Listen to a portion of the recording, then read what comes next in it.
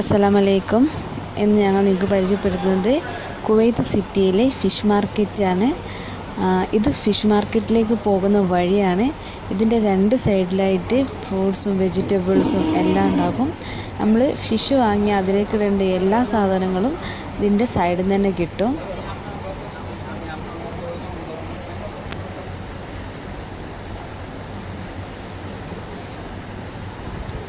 ഇവിടെ ഫിഷ് മാർക്കറ്റിനകത്തുള്ള നമ്മുടെ വെജിറ്റബിൾ മാർക്കറ്റുകളാണ് എല്ലാം ഇതിനകത്തുണ്ട് വെജിറ്റബിൾസ് ഫിഷ് എല്ലാം ഇത് നമ്മൾ ഫിഷ് മാർക്കറ്റിലേക്ക് ഇറക്കുകയാണ്.